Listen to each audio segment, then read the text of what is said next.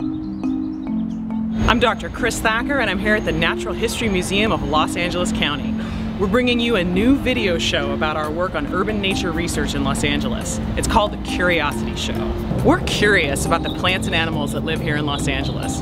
It's such a huge city, diverse, growing, and everywhere alive. It stretches from the mountains to the ocean and is a place where people and nature mix, mingle, conflict, and coexist. We want to discover and understand that nature with the help of citizen scientists from across Los Angeles.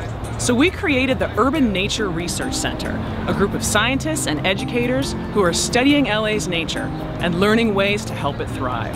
The Curiosity Show will take you behind the scenes for the coolest urban nature science. We'll take you beyond what you can see in our exhibits and gardens to the real stories of scientists working to observe and understand our urban nature. Some of it very surprising and weird. So get curious and join us to explore nature in LA.